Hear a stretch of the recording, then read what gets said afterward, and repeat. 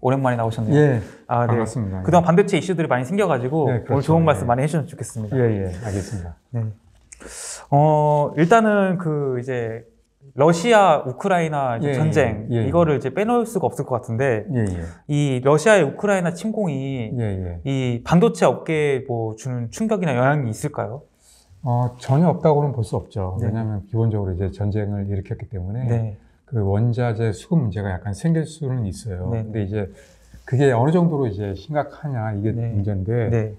뭐 결론적으로 말씀드리면 그렇게 심각할 것 같지는 않아요. 어 그래요? 네. 오, 네. 왜냐하면은 물론 이제 가격은 오를 수 있어요. 네. 가격은 약간 오를 수 있지만 네.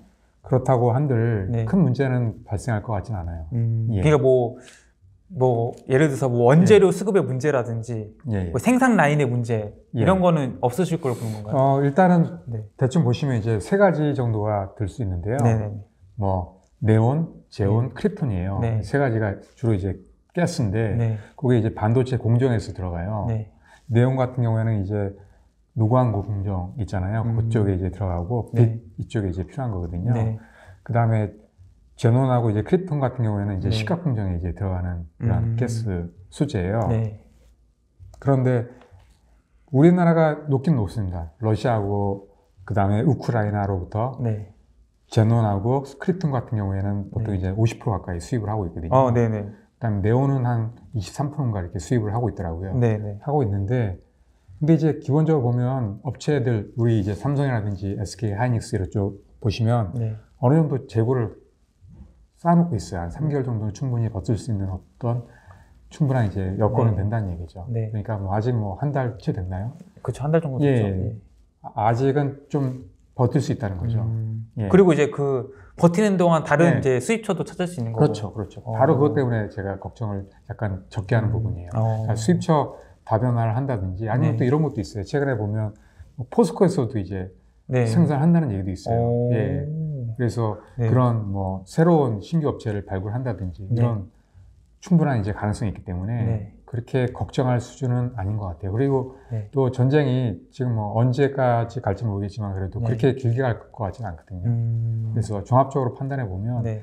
가격은 분명히 오를 수 있어요. 네. 그렇지만 뭐 심각하게 뭐 타격을 줄 수 있을 만큼은 음. 아니다라고 보거든요. 어, 예. 그러면은 뭐 예를 들어서 뭐 전쟁의 국면에 따라서 예, 뭐 예. 세계 증시가 충격을 받을 수도 있고 예. 혹은 뭐 반도체나 우리나라 증시가 충격 예. 받을 수 있잖아요. 예. 그 이때는 투자의 기회로 봐야겠네요. 뭐 그럴 수도 있죠. 항상 보면은 네. 어떤 변수가 안 좋은 게 생겼을 때 네. 주가가 많이 내려간 적이 많았잖아요. 네네. 그런 다음에 또 이제 바로 이제 또 회복되고 이런 게 많았기 때문에 네. 제가 보기에는 주가라는 게 기본적으로 그 기업이 어느 정도 성장할 수 있느냐 이게 가장 네. 중요한 변수라고 보거든요. 그게 만약에 이제 성장한다면 네. 다른 외부 변수는 언젠가는 해결이 되죠. 그렇죠. 그렇지 않은 경우는 없었잖아요. 네네. 그러면 또 회복을 한다는 거죠. 음. 예. 그 삼, 그, 그 기사를 보니까 예. 현대차는 러시아에 생산 공장이 있어가지고 네. 그 자산을 이제 뭐 해외 기업들의 자산을 뭐 압류한다 예. 이런 얘기 있던데 예. 삼성하고는 전혀 상관이 없죠 러시아 뭐 뭐 특별히. 이렇게 러시아 쪽은 솔직히 교육이 그렇게 많지는 않잖아요. 네. 물론 이제 중국은 약간 영향이 클 수 있어요. 왜냐면 음. 중국은 가깝고 그다음에 네. 또 교육이 좀 있기 때문에 네. 최근에 뭐 미국에서도 뭐 SMIC라든지 이런 데 제재하고 있잖아요. 네네. 수출 못하게. 네. 그런 데는 약간 영향이 있을 수 있죠. 근데 음. 이제 한국은 네. 기본적으로 러시아나 이제 우크라이나 이쪽에 이제 그렇게 많이 이제 교육을 많이 하고 있지 않기 때문에 네. 그렇게 심한 어떤 영향은 있지 않을 것 같다는 생각이 들어요. 음. 예. 알겠습니다. 예. 그래서 뭐 예. 이번 우크라이나 이제 러시아 그 전쟁의 예. 그 예. 영향은 예. 제한적일 것이다. 예, 예. 네. 그렇게 보고 있는. 알겠습니다. 예. 그 삼성에 대해서 요즘에 그냥 뜨겁게 그 예. 유튜브를 달군 사건이 있는데 예. 예. 그 GOS라고 하나요? 아, GOS? 예, 그렇죠. 예. 이 GOS라는 게 일단 뭔지부터 좀 아, 설명해 예. 주실 것 같아요. 기본적으로 이제 이게 뭐냐면은 네. 게임 네. optimization 네. 서비스예요. 네. 이게 뭐냐면 이제 게임을 최적화 하기 위해서 이제 필요한 어떤 서비스 프로그램인데 네. 네. 이게 문제가 뭐냐면 이제 이거를 작동시키면 성능이 떨어져요. 음. 왜왜 왜 그렇죠? 근데 그거는? 그러니까 게임 에 이렇게 어떤 그 전력 소모가 많다 보니까 네, 네, 네. 그게 이제 다른 기능을 제대로 사용할 수 없는 거죠. 어. 그래서 이제 기본적으로 이게 게임을 또 성능이나 이런 그 소비 전력을 많이 쓰는 거를 하게 되면 네. 열이 발생을 해요. 네, 네, 문제는 그렇죠. 열이거든요. 네네. 열이 발생하면 문제가 생겨요. 특히나 이제 배터리 쪽에 문제가 생기고 어. 예 하거든요. 네. 그래서 삼성에서 걱정한 부분이 그거예요. 예전에도 뭐 A7이었나요? 아 예 발열 뭐. 예, 그것 때문에 배터리 한번 터진 적 있잖아요. 네 네 네. 그것 때문에 상당히 그런 어떤 불안을 안고 있어요. 음.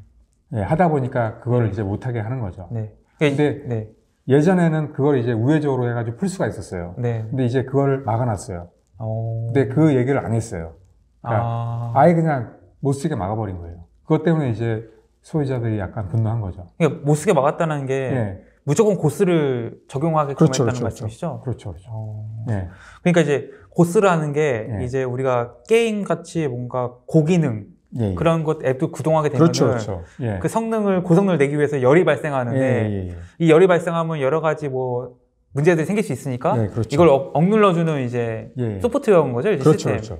그게 기본적으로 네. 삼성이 아까 말씀드린 대로 그 음. 발열 문제가 있었어요 예전부터. 네. 그게 계속 지금까지 음, 오고 있는 거거든요. 네, 네. 그 문제가 네. 해결 못했어요 그거를. 음, 그리고 특히나 예전에 이제 배터리 사고 난 다음부터도 그렇고 네, 이 배터리에 보면 이제 좀 좋은 거를 써야 되는데 네.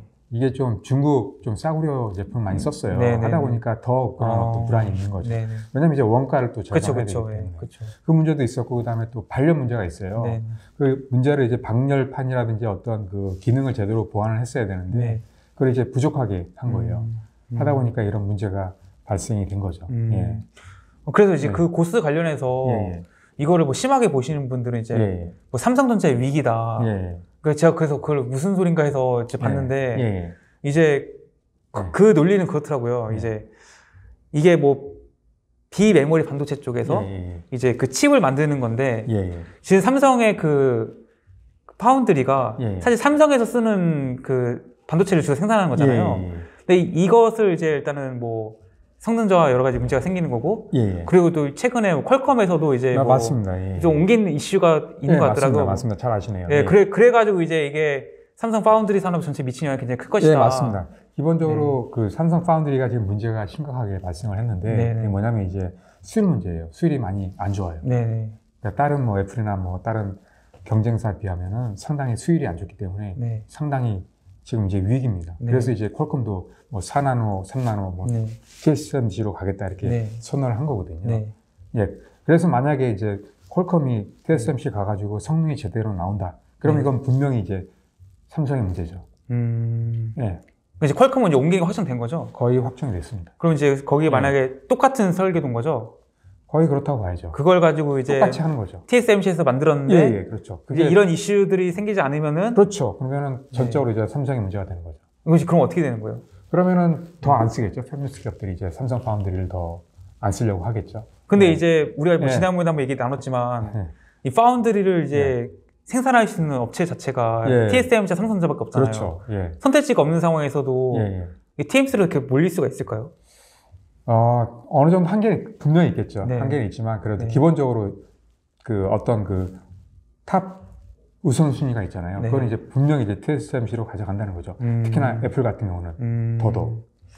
애플은 근데 원래부터 TSMC를 원래부터 예. 그렇죠. 근데 그렇죠. 이제 퀄컴이나 뭐 네. 엔비디아 이런 업체들은 보면 이제 양사를 다 썼어요. 어. 근데 이제 이걸 이제 전적으로 이제 TSMC로 돌릴 수가 있는 거죠. 아. 예. 그리고 뭐 새로 팹리스 업체들이 삼성을 고려했다가 이제 네. 우선적으로 또 TSMC를 고려하겠죠. 음. 예. 여기서 삼성전자가 할 수 있는 선택지는 뭐가 있나요? 그러니까 TSMC가 안 되길 바라는 것밖에 없나요? 뭐 그런 것도 이제 기회가 되겠죠. 근데 기본적으로 네. 수율이 좋게 나와야죠. 기본적으로. 음. 그 수율이 문제가 된다는 건 뭐냐면 네. 여러 가지 문제가 있어요. 그게 네. 뭐냐면 기본적으로 어떤 제품의 신뢰 어떤 문제거든요. 네, 네. 그게 어떤 다른 제품에도 문제가 생길 수 있다는 거예요. 네. 양품에도. 네. 그런 어떤 리스크, 리스크가 있다는 거고 기본적으로 또 뭐냐면은 그 원가 경쟁력이 없어진다는 거예요. 그렇죠, 그렇죠. 분량이. 많아지니까 당연히 이제 원가가 올라가는 거죠. 그런 네. 문제도 있고 또 가장 중요한 문제가 뭐냐면 네. 네. 원하는 그 시기에 제품을 납품을 해야 돼요. 네. 근데 이제 고객이 원하는 시점에 제품을 납품을 못 받는다는 얘기예요. 음. 분량이 많다는 얘기. 네. 그러니까 그런 심각한 문제가 있다는 거죠. 아. 예. 우리가 이제 그 작가님이 지난번에 나오셔서 해주신 말 중에서 이 3세대 이제 기술 방식에서 예, 예. 삼성이 TSMC 다른 선택을 했다. 예, 예. 근데 이 기술이 적용됐을 때도 예, 예. 이런 문제들이 해결 안 되나요? 어떤 그거는 좀 두고 봐야 돼요. 그러니까 음. 워낙 이제 방식 자체도 약간 다르기 때문에 네. G 방식 네. 하기 때문에 기본적으로 그 방식이 더 효율은 더 좋게 나옵니다. 음. 근데 이제 그게 아까 말한 대로 수율이 또 제대로 나올 수 있느냐 이게 또 아. 관건이거든요. 그러니까 아무리 네. 좋은 기술도 수율이 안 나오면 이건 말짱 도루묵이거든요. 음. 예, 그러니까 수율이 확인된 건 아니네요. 그렇죠. 수율은 이제 나중에 생산을 해봐야지 아는 거죠. 예, 음. 아, 알겠습니다. 그럼 이제 이 고스 사태에 대해서 예. 어떻게 전망하세요? 그 제가 보기에는 네. 일단은 그 예전에는 A7 같은 경우에는 네. 리콜했잖아요. 네, 리콜했죠. 예. 그때 그러니까 이게 위기였는데 네. 오히려 전화위복이 됐어요. 그러니까 신뢰가 상당히 높아졌거든요. 그 당시에 음. 리콜하는 바람에 네, 네. 제 생각은 네. 어느 정도 리콜도 했어야 되지 않나라고 아. 생각해요.